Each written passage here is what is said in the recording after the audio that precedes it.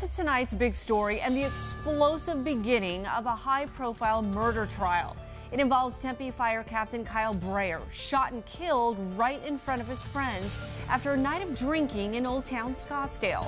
Prosecutors claim the suspect killed Brayer during a verbal altercation.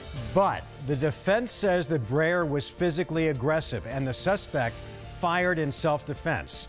Team 12's Ryan Cody joins us live from Superior Court with the emotional opening statements in this high profile case. Ryan?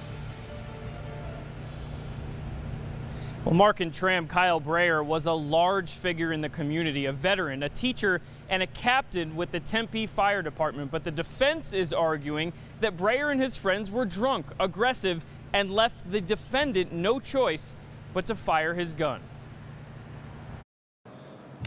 Tempe firefighters waiting outside a Phoenix courtroom. We're here to uh, show support and be a voice for somebody who can't be a voice for themselves anymore. Random act of, of violence. While inside, a much different tone. Mr. Parks responded to the threats and defended himself.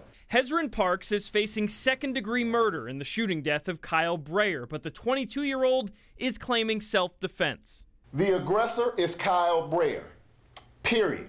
The prosecution says Brayer and his friends riding on the back of a golf cart in Old Town Scottsdale when Hezron Parks pulls up in a red sedan. That Mr. Parks starts to toy with this golf cart by revving his engine. Witnesses and police both agree Brayer jumped off the cart to confront Parks, but this is where stories conflict. Captain Brayer was actually a good distance away from that window and had not said a word at the time a gunshot rang out. Kyle was kicking the car.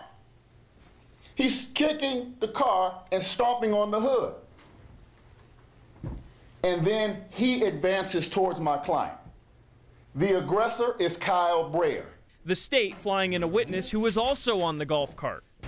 I don't remember. But not recalling most of the night because of memory issues, alcohol, and cocaine. Do you remember anything you might have had to drink or anything that you ingested while you were at the bowling alley?